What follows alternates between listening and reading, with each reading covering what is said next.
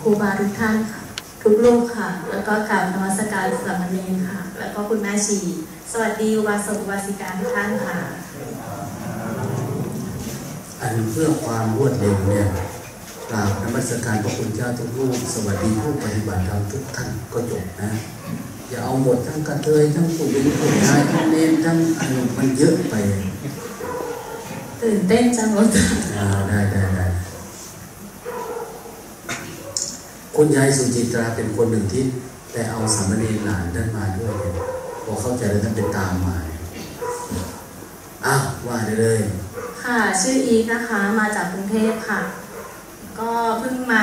ปกติแล้วก็เคยปฏิบัติธรรมมาบ้างแล้ว แต่ว่าก็ยังไม่ไม่ไม่ได้แบบรู้เรื่องธรรมะหรือว่าอะไรลึกซึ้งเท่าไหร่ค่ะ แล้วก็เพิ่งมีโอกาสได้มาที่วัดนี้ครั้งครั้งแรกค่ะ เพราะว่า ขอบคุณบอสนะคะที่จัดกิจกรรมให้พวกเรามาปฏิบัติธรรม เพื่อให้เรามีสติปัญญาเพิ่มขึ้น ค่ะก็เอ่อมามาวันแรก ก็แปลกใจว่าเออทำไมต้องทำมือทำไมต้อง ต้องแบบนั่งนั่งจดจ่อกับ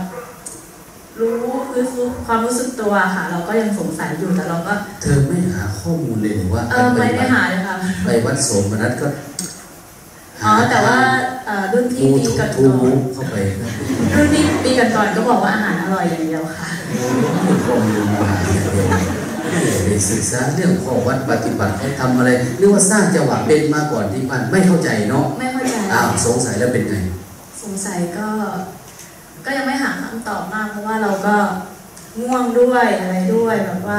ครูบาบอกว่า อย่าหลับนะอะไรอย่างเงี้ยหนูก็แบบขอนอนก่อน ในใจบอกขอนอนก่อนนิดนึงนะนิดนึงอย่าเพิ่งครูบาอย่าเพิ่งเห็นแต่ว่าครูบามองเห็นแล้วก็มาสะกิดที่เราตลอดเลยเราก็ เอ้ยทำไมเรา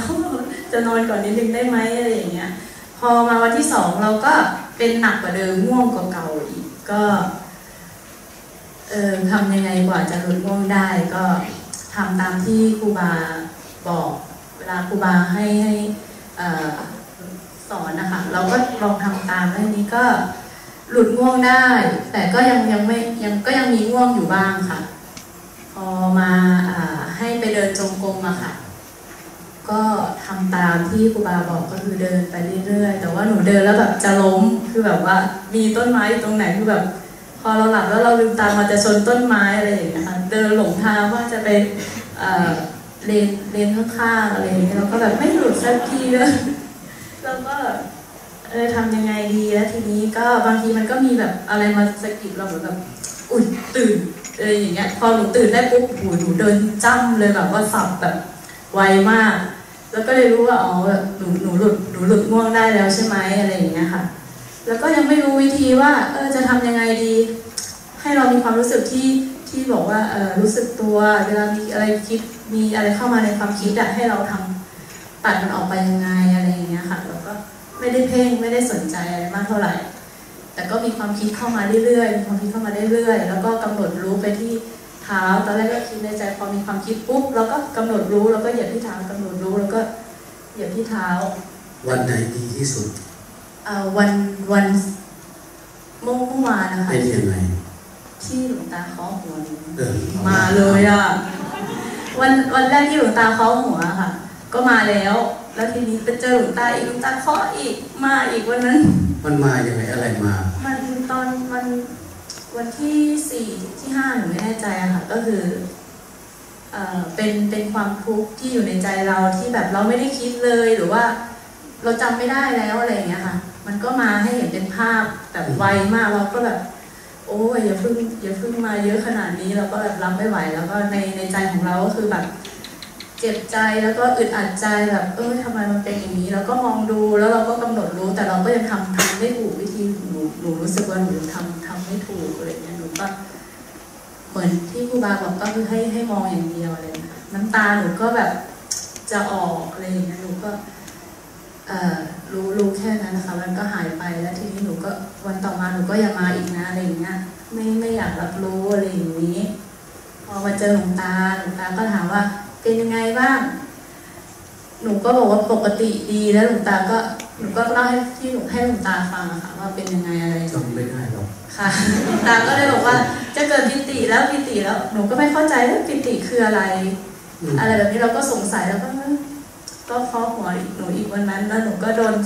หลังคาหล่นใส่วันที่มีพายุพอดีด้วยหนูก็มันน่าจะไม่เกี่ยวแต่ความรู้สึกเราเราศรัทธาในพระอาจารย์นะคะ เราก็เลยเอ่อน่าจะ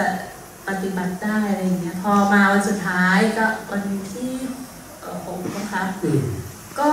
มันมีความรู้สึกแปลกๆก็คือมันมันมีความสุขมันมีแบบภาพที่เราแบบเคยให้ทานใครเคยเคยแบบว่าช่วยเหลือใครอะไรอย่างนี้แล้วก็เป็นความรักของครูบาอาจารย์ หรือว่าเราเคยไปทำบุญที่ไหนมันก็ขึ้นมาหมดเลยอะค่ะหนูก็ไม่รู้ว่ามันเกิดเกิดแบบนี้กับตัวหนูแต่ก็กำหนดรู้แล้วก็มองดูอย่างเดียวแล้วหนูน้ำตามันก็ออกมาเองแบบ ไหลไม่หยุดเลยค่ะตรงนี้เปียกหมดเลยค่ะประมาณนั้น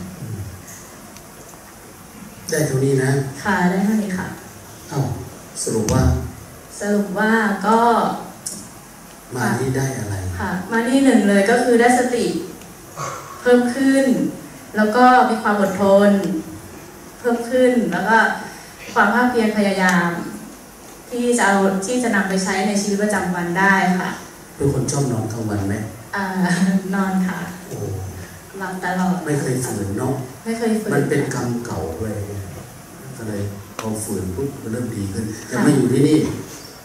คนไหนมีกรรมเก่าเยอะก็ทรมานมาก กว่าจะออกได้ ใช่ค่ะเออคิดว่าจะมาอีกไหมมาค่ะเอาโอ้โหเอาโฆษณาสาธุค่ะ